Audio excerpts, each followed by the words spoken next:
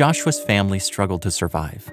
The 10 year old boy longed to go to the local Seventh day Adventist school, but his parents couldn't afford to send him. One day, Joshua and his parents went to the local market. On their way, they passed the Adventist school. Joshua heard the children singing during their morning assembly. He longed to join them, wear the uniform they were wearing, carry the books they were carrying, and most of all, sing the songs they were singing. Joshua's father saw his sad expression and went inside to talk to the teacher. Together, they went to the pastor's office.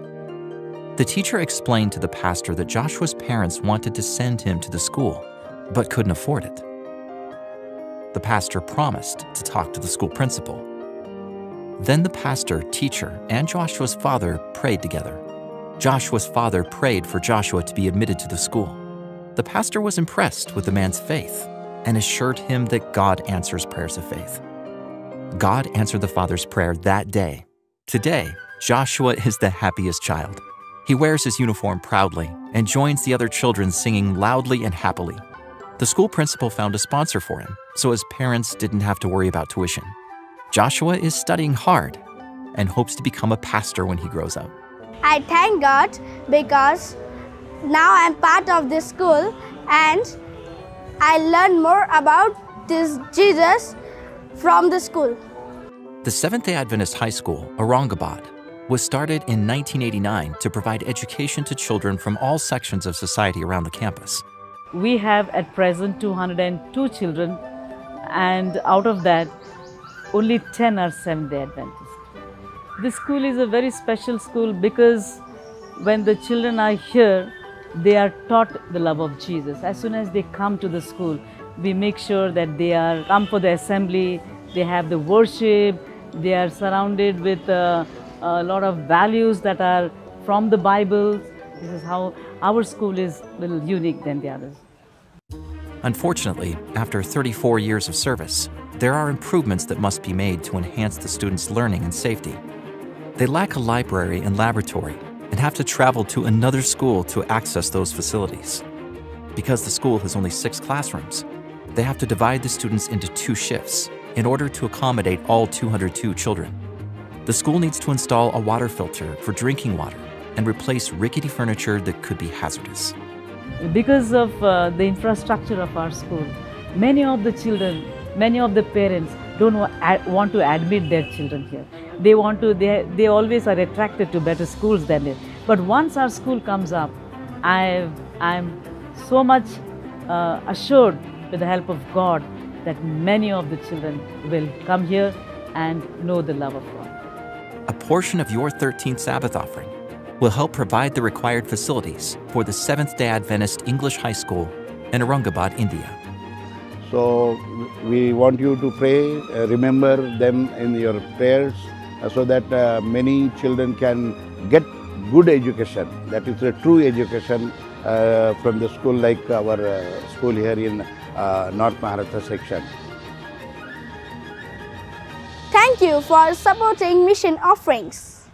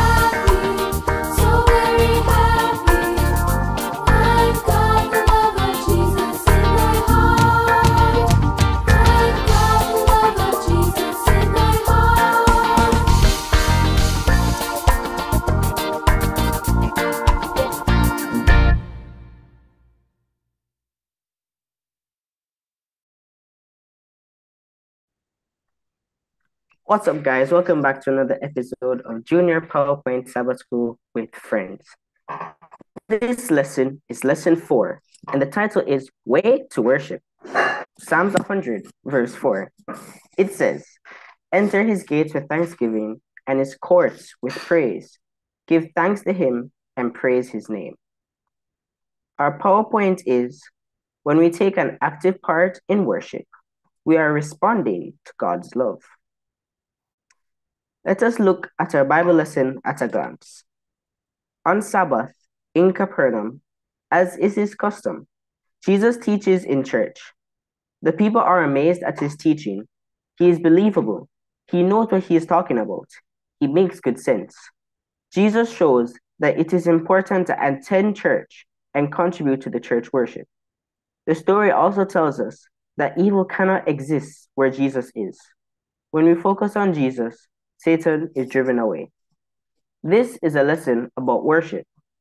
Jesus set an example of being involved in corporate worship, coming together publicly to praise God for his great love. Worship is a verb. Now I'd like to invite my fellow companions on the program. We have our co-hostess, Kezia and Marcia. We have Nathaniel and we have a new person today. She's coming from the country of Uganda. It is Zion Victoria. So I'm just going to call her Zion for this program. So thank you all for being here with me and for all coming together on this program. Let's get into the questions now. Question one what does the memory verse and PowerPoint say about worship? Or what do you understand from the memory verse and the PowerPoint about worship? Let me repeat the memory verse again. Psalm 100 and verse 4. Enter his gates with thanksgiving and his courts with praise. Give thanks to him and praise his name. And the PowerPoint is when we take an active part in worship, we are responding to God's love.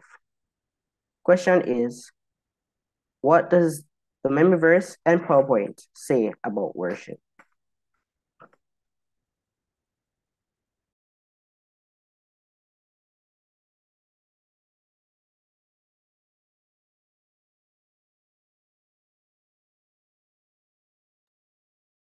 Happy Sabbath. So I'll go first. Um, this the the Sabbath school um this week's power text um, it basically means to me, it's like a call to worship and it's like to give thanks to God. And basically, I understand it to mean like to get into the gates of heaven, we have to be giving thanks. And by praising Him, it brings us into the courtroom of the King of Kings. And also, this verse kind of encourages us to enter God's presence with thanksgiving, praise, and recognizing him as good and faithful. And I know like there's like no way that you can go into worship um with like a bad attitude or just like a pessimistic attitude where like you don't want to be here. And that's not like full worship. That's not genuine worship and praise and thanksgiving. So that's what I understand it to mean. And then our PowerPoint talking about um being active in worship is a is a way of give showing showing God's love or something like that, I believe. Yeah, responding to God's love. So I think when you actively sing, if you're singing songs in church, you actively doing that is like kind of like your communication to God, saying that you appreciate this, what He's doing in your life. And because the words of the song are majority of the times, well, they are worshiping Him and praising Him and thanking him for all that he's done for us, that's your way of like speaking to him. So that's what I take from that. Uh, happy Sabbath, everyone. What I gather from the power text and the PowerPoint is that when we come to worship God, we are giving Him our thanks, we are giving Him our praise for everything that we for everything that He has done for us, and through that, that is our response to his love. So when we come into the temple or the tabernacle, not only meditating on his word or reading the scriptures like Jesus did in this um, this story, but we also can show and worship God through our praise and thanking Him and showing adoration for all that He's done and for His love towards us. Happy Sabbath, happy Sabbath, everyone. Um, what I gather from this is kind of what Kezia said, how whenever we worship worship God, we shouldn't have like a bad mindset or attitude, as she said, because it's not showing reverence to God.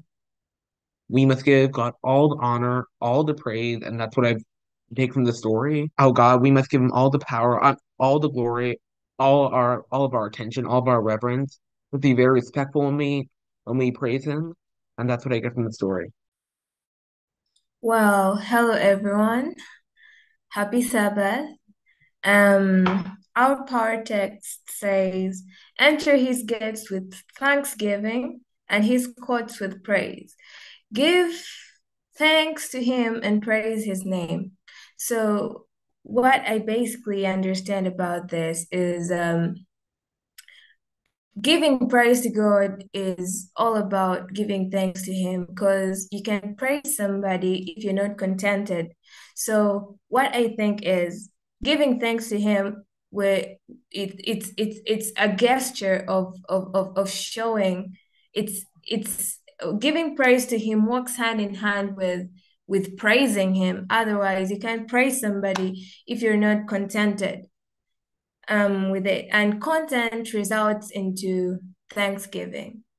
And then our memory verse, our memory verse comes from our memory verse was talking also about Thanksgiving.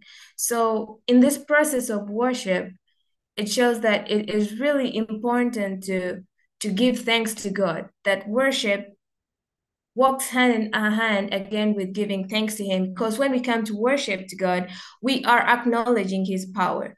And and on top of acknowledging his power we need to give thanks to him so that um so that how can i express this? The moment we give thanks to god it will it will persuade us to to worship him and to do the things that they recommend us to do while worshiping. So that's what I understand. Thank you for all your answers. I believe they're all right in their own way because this these the power text and the PowerPoint both have to do with worshiping God and thanksgiving with God. And I also wanted to show how both of them line up as to it talks about in the text enter his gates with thanksgiving and his courts with praise. So to me, that's giving reference to his gates, his courts, when we are coming to his room, which equals to when we are in his presence. A lot of people go to God in his go to his presence and you know cussing out saying why not get this why haven't I gotten that? And so forth. But it says in the verse to enter his presence with thanksgiving and praise, even if you didn't get what you wanted, you still give thanks to him and praise his name. And in the PowerPoint, talks about when we take an active part in worship. A lot of people don't take an active part in worship. Like you are there physically, but you're not there spiritually. So it also talks about taking an active part of worship and how if like people would say, Oh, I love God, I love God, but they don't worship him, they don't take an active part in worship. It says when we take an active part in worship, we are responding to God's love. So from that, it just reminds us that we should put our effort in worship and show our effort in worship, and it shows how much we love God actions speak louder than words. That's what I get from this. Okay. I just want to add something else. I really love how um, Joshua he gave emphasis on entering into his gates and entering into his courts because when we are worshiping God, we're entering into his presence.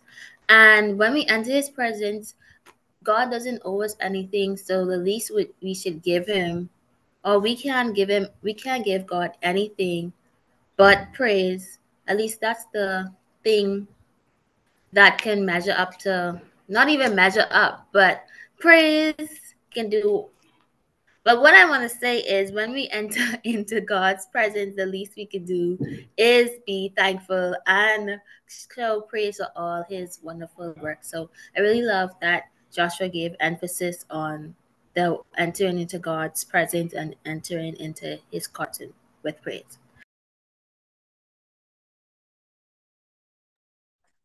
Thank you, Marcia. Time for question two. What does the Bible story for this week's lesson teach you about Jesus' character and how it affects the persons or the things or whatever is around him? So I repeat, what does this story teach you about Jesus' character?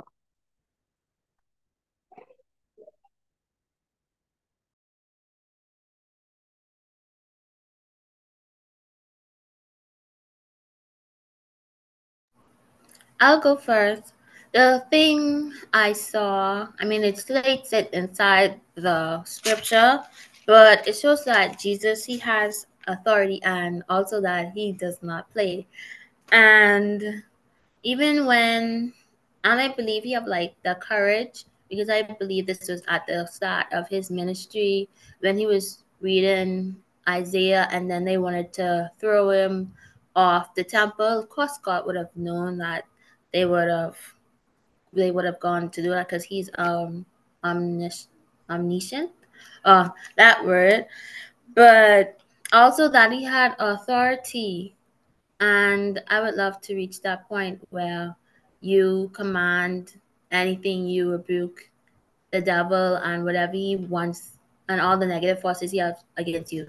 But in this character i see that jesus he was very authoritative and he had courage. Of course, he had courage because he's God.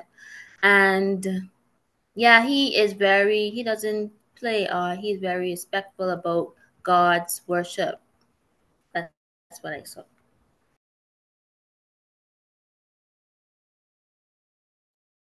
Uh, happy times. I just like to say how in the story I see how Jesus he did he had a big influence on a lot of people. People were going from town to town following him because of what he had to say. Jesus was a really big, big, big thing back then. From town to town, people really wanted to hear. We really wanted to listen to what he was going to say next. And Jesus' character, I like to say, was very, he was very helpful and forgiving because when the man came to him, when the man came to him, when the demon was inside him, he cured him without question. It shows how much God loved us.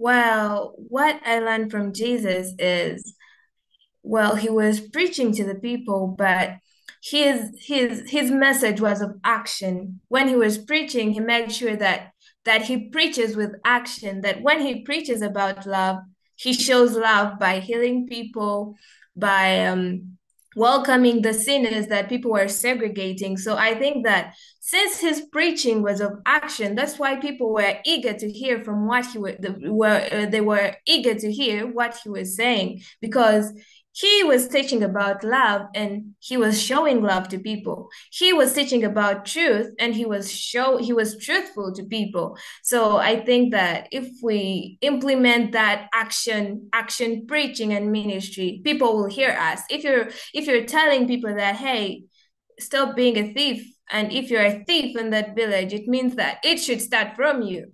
Stop stealing and people will see the light from you. If you're like hey dress properly let it start from you dress decently and people will be eager to hear. So that's my contribution.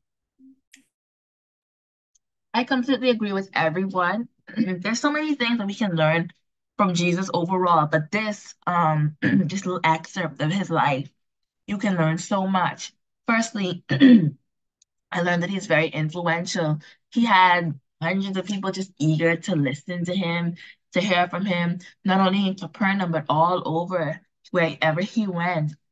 and people would just be eager to hear about him and persons would go and share that oh he's just here. Do you want to hear him with me? Or like they'll all go together and watch and just listen to what he had to say. Persons were eager.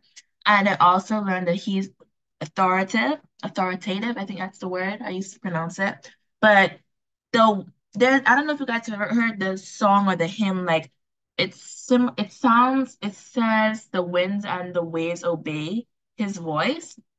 And so, like the winds and the waves, nature obeys him, but demons even know his name. Demons even fear. Demons tremble at the sound of um Jesus or like hearing him or seeing him. So that just shows how much power he has over the demonic realm, even though he is Jesus and although he's light and he has power, he has power over the demonic um spirits and stuff like that. And I also learned that he's very um he's kind as well. He showed love. Like Zion mentioned, he was preaching about love and he showed love because the Sanhedrin Council or those Pharisees, they would never in a million years touch somebody who has a demonic spirit or um come in contact with somebody who's a leper, but Jesus did that several and countless amount of times.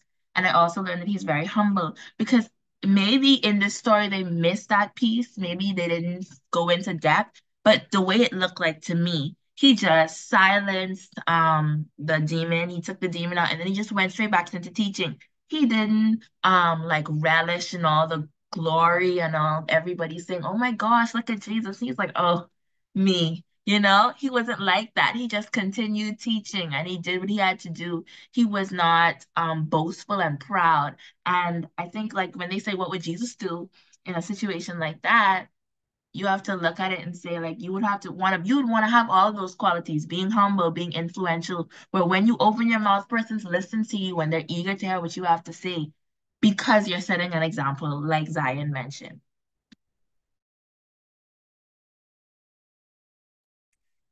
Those are very good answers from all of you. Um, you guys all looked at the story at your own unique, different way, and I really like that. So, guys, basically, guys all collectively said what I was going to say, because so Jesus was talking to the people. He he led by example just like how I said earlier that actions speak louder than words. And how even even though he knew that the Sanhedrin didn't like what he was doing, he still continued doing it because he knew it was the right thing to do.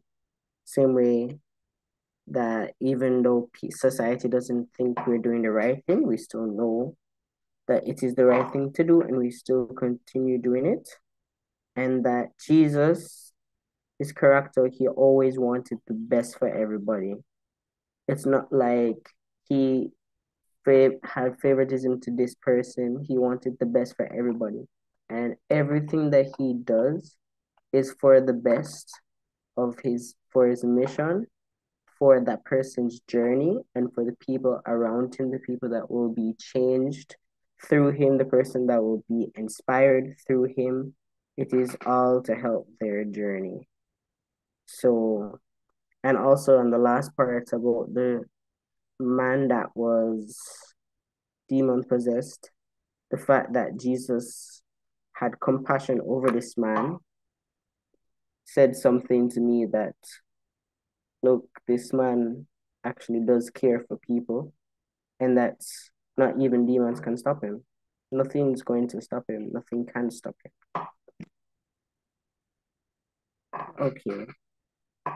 So that is the end of my answer. I'm going to go to the next question. Imagine you were there in the Bible story as it happened. What emotions or how would you feel during that story? I'll say, I'll say the question again. Imagine you were there in the Bible story as it happened what emotions or how would you feel or what would you imagine would have happened around you during that story?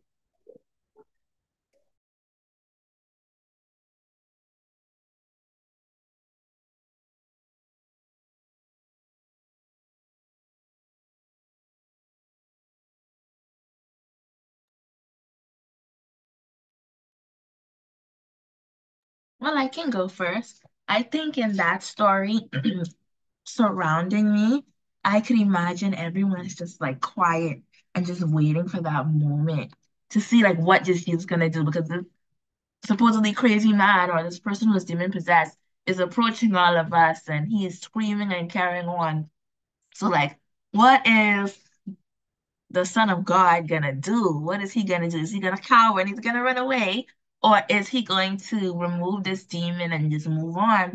And I could also imagine the Pharisees in the background, you know, because they were just waiting on Jesus to just do something so that they could just take him away or deal with him. So I can imagine they're taking notes and they're waiting to see what happens. And like for myself, I think I would just be glued to see what happens. But also I'd be a little shaken up because there's somebody who's demon possessed literally here. So I'd have been a little scared, but I would be glued and like eager to see what would happen next. What's gonna go on? Is this man gonna be like normal, back to normal again? What's gonna happen? What's Jesus gonna do? So that would be my mindset. That's what I think would happen around me. And like, yeah, yeah, yeah. So. Um, for me, I'll take like a realistic standpoint, knowing how I am now, and as we are told in this in the scripture that there'll be a lot of people. I know that I would be quite claustrophobic, and knowing all the things that Jesus has previously done, I'd be eager to like get in the front to see it instead of. And I'm quite short, so if there's other people in the front of me, I'll probably be hopping up, hopping up, trying to see what Jesus is gonna be doing. And in the passage, I know they did it like from a narrative view uh, or response, and they said that there was a scream. I mean, in the PowerPoint story, they said it was a scream, but if there was like a scream, and then this little ravish or this wild man just came running, of course, I'll be shocked. But at the same time, me knowing who I am, because I know back then they weren't really too hot up for what Jesus was teaching. But if I was one of the people who started to believe back then, then I'll be calm in my heart, like, okay, I know Jesus has this. I know based on what he said previously, he has the authority to do this. And as he's if he says he's the son of God, I sure he has that he has this handle. At the same time, that's all the things that I felt I would be experiencing back then from a realistic standpoint, knowing who I am now. But at the same time, I'll be enjoying the experience. And I think I'll be grateful for the experience also. Well, my emotion would be assurance. I would be assured that the person preaching really, uh, like, I would get assurance because if he chased away demons and a man, then I would know that, hey, um, this person who's really telling me what to do really has the authority and power for me to follow what he's saying.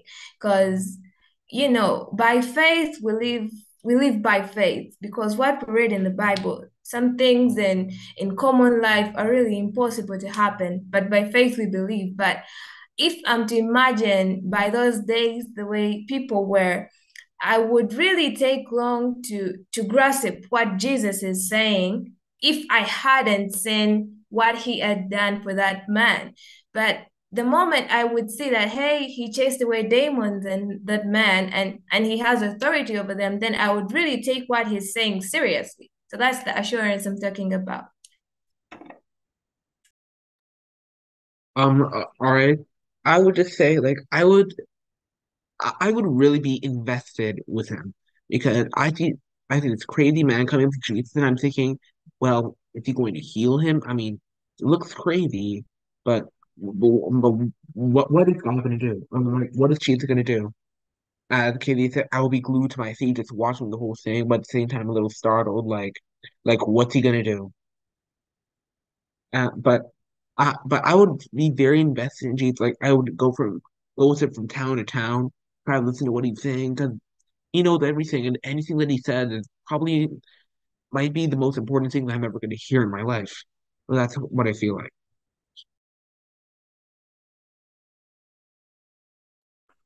Those were all great answers.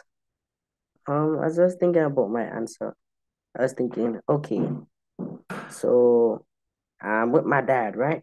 I'm sitting down in a nice seat. I don't even know if the ground is sitting on, but I'm sitting down. I'm I'm listening to Jesus, and as my heart is filling up with hope and compassion, I just hear this madman saying, ah! in the back of the, the, the church as there's running in. First of all, I'm running out. He's running in, I'm running out. But for the sake of the imagination, I'm going to act as if I did not run out. Okay, I'm glued to my seat as the, the story says.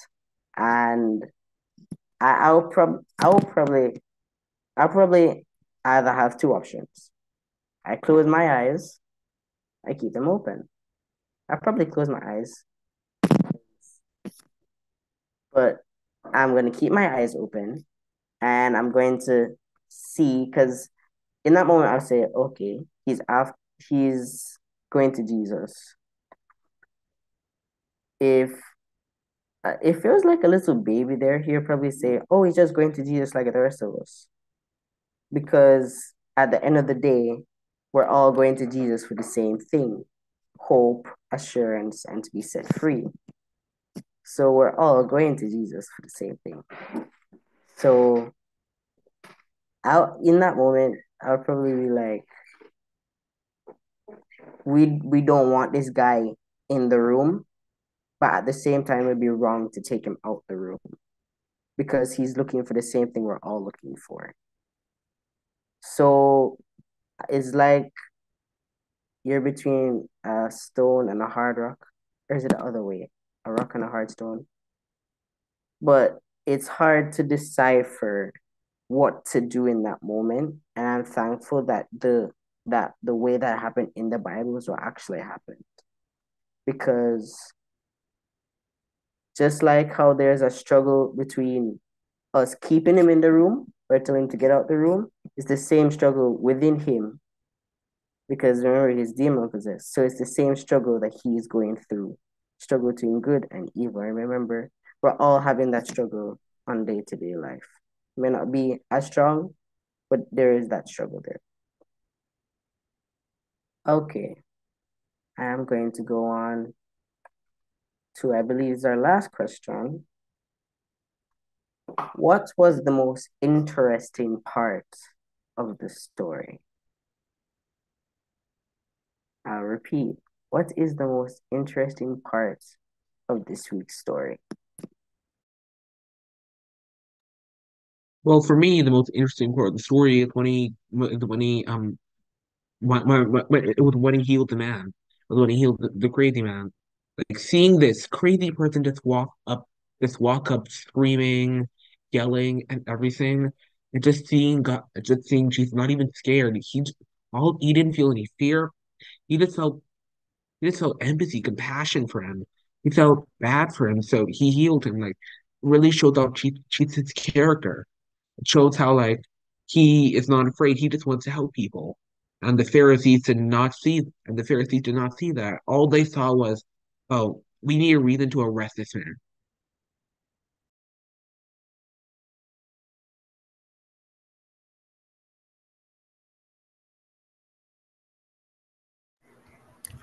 Um, for me, no matter how much times I read it, and I don't know why it is interesting to me, and I can't lie that I don't find it interesting, is that every time um in the scripture it said that the people were so amazed at the authority that Jesus have. I don't know why it's so interesting or I'm so intrigued by it because at the same time those same people were saying crucify him, crucify him at the cross. But I can't really condemn them because even in our modern day life, we um we do that. And also another thing that I found interesting was that I mean I know the answer to it now, but when Jesus tells the demon to hold thy peace and come out of man, in religious studies, we learned that the reason why Jesus didn't tell, he didn't allow the demon to keep on speaking about who he was, was because his time had not come for him to reveal who he was as the Son of God. So he's like, put a put a hole on that, put a gauge on that, and be quiet.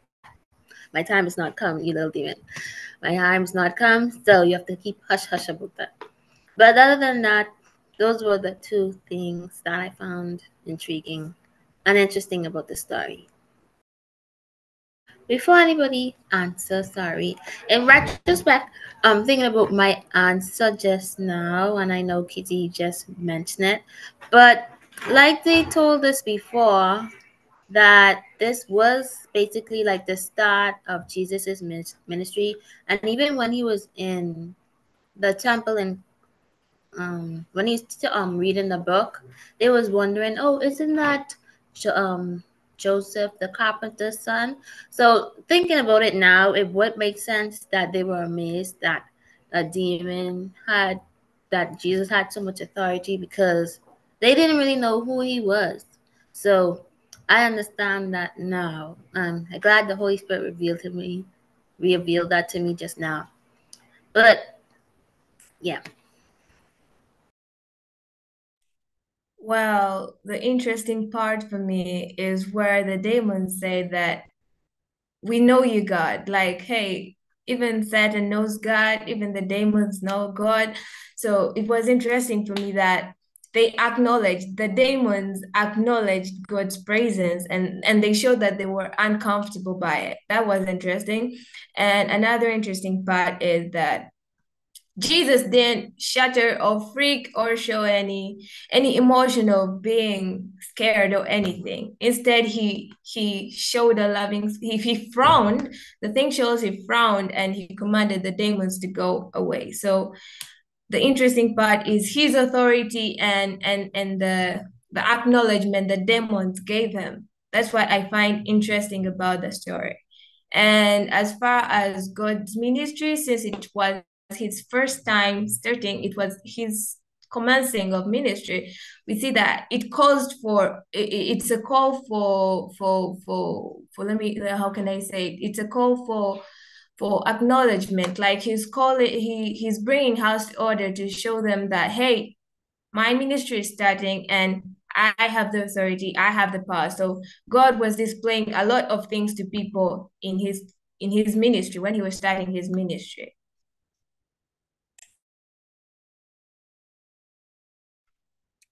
i love all of your answers guys all look at it in different ways which i really like I really like the diversity of how different people view, even if it's the same subject.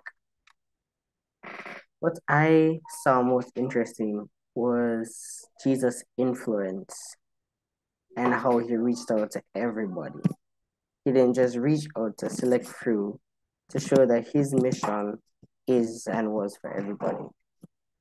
So way that he the influence that he had that so much people wanted to see him and the influence that he had with the Sanhedrin. Every single day I wondered to myself, was the influence that he had on the Sanhedrin good or bad? Because it's, well, I believe it is as good because it showed the Sanhedrin that, look, we are not all that and we have some work to do we have things that need to improve and there is room for improvement. So his influence to people around him and how he interacted with other people was, I believe, the most interesting thing to me and the thing that intrigued me the most. Okay. That is the end of my questions. I will now hand over to Kezia. Thank you so much for answering the question. Thank you so much, Sasha, for those questions. I completely enjoyed them. They had us thinking and had us really understanding what it meant to be in that um that situation in that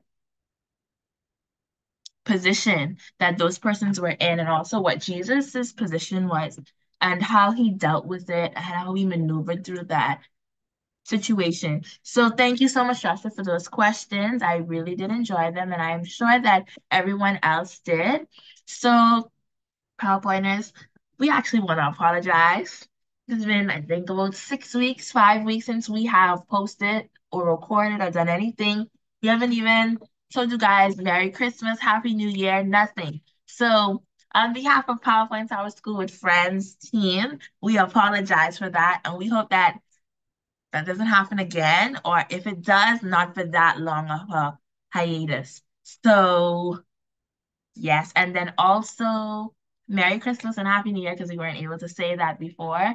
We hope you guys had a great season of holidays and food and family and friends. And also, we hope that you guys had a, a prosperous new year and that this year brings you more joy and blessings. And even if it brings you heartache, just know that there's better ahead. Um, that is all. Well, okay, I have some more announcements. So happy birthday to all the January babies. We wish you many, many more. Marcia, you are a January baby or a February baby? February. A January baby. January baby. So Marcia's birthday is this month. So I hope she's celebrating from January 1st straight till the 31st. I hope that's what's going on. Um, so happy birthday, Marcia, in advance, because we're gonna say happy birthday next week, but happy birthday in advance, and to everyone else who is celebrating in January. Also coming up next, we have Uncle Pastor DJ with our 28 grades and lesson recap. We have Auntie Ida with our health journey and our special feature at the end. And we also want to say thank you to Uncle PJ for our PowerPoint recap. So that is all. Oh, I also want to remind our PowerPointers in this new 2024, please subscribe. If you have not subscribed already, please subscribe because, I mean, it's a new year. Your New Year resolution should be to subscribe and stay tuned. Thank you very much. And also, we want to say thank you to those who have followed their resolutions and subscribed. Thank you to the 1,720 subscribers who have clicked that little button and stayed tuned. So thank you very much. And we hope to see many more persons following us on our journey with Christ. And we hope that, they, that you all stay encouraged through us. And um, that is all. We're going to pray and then we're going to say goodbye. So can Zion please pray for us? Let's humble ourselves for a word of prayer. Kind and precious loving Father in heaven, we thank you for the gift of life. We thank you for your mercy. We thank you for your love that you show to us now and then. We pray that you be with us and guide us throughout our days of our lives. And we pray that what we learn here, let us implement it in our lives so that it can work in us, so that we can be better people and we can project your your name so that others can know you. Help us to be good people to others. Let us have your love. Let us have your extraordinary character so that you can draw more people to you. Help us so that we can walk in your footsteps. Help us so that you can have the urge to read the Bible now and then. In Jesus' name I've prayed. Amen. Amen. Thank you, Zion, for that prayer. Once again, thank you, Zion, for joining us all the way from Uganda. We hope that you join us again or maybe even some more. Thank you, Joshua, for the questions. Thank you, Marcia and Nathaniel, Nathaniel for joining us on the program today. And thank you, PowerPointers, for staying to the very end of the discussion. Don't forget to stay tuned for what's next. And we will see you all next week. Happy Sabbath and adios. Bye. The Sabbath day is still a holy day. Hello, my PowerPointer. This is Pastor DJ with What We Believe. Fundamental belief number 20th speaks of the Sabbath.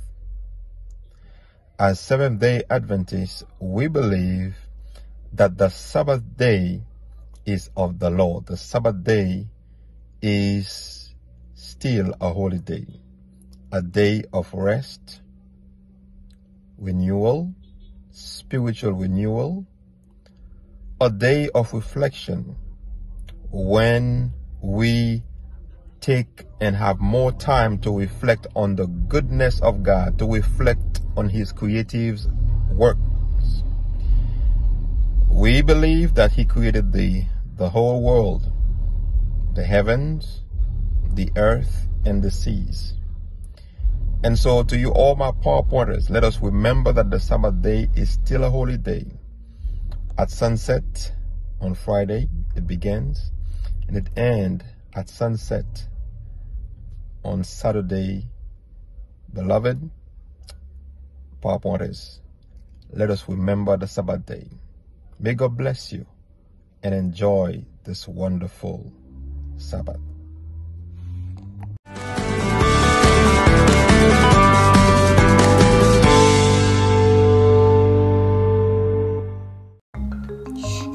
Imagine seeing a creature that has three hearts, nine brains, and blue blood.